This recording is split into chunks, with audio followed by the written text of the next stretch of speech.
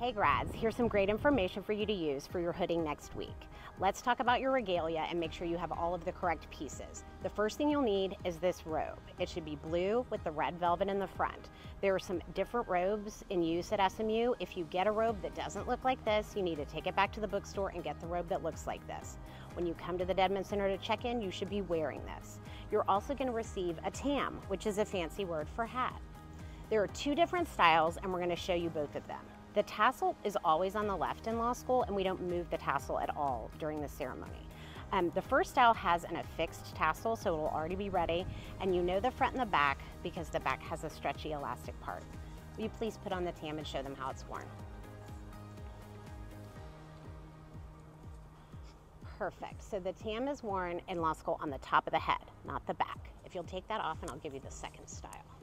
The second style of tam sort of has a black rim around the edge and the tassel moves. So if you get this style of hat, you'll wanna make sure that the tassel's on the left and you'll know the back from the front because the back has a small seam right here. So if you'll put this hat on correctly, please.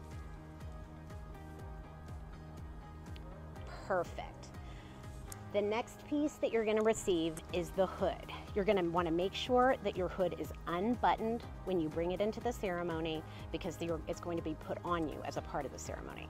The law school hood has this blue and red shiny part in the center and then a purple velvet sort of rim. If you get a different hood, again, this is not the law school hood, so take it back to the bookstore. You're going to be carrying this hood into the ceremony and you need to be carrying it in a special sort of way.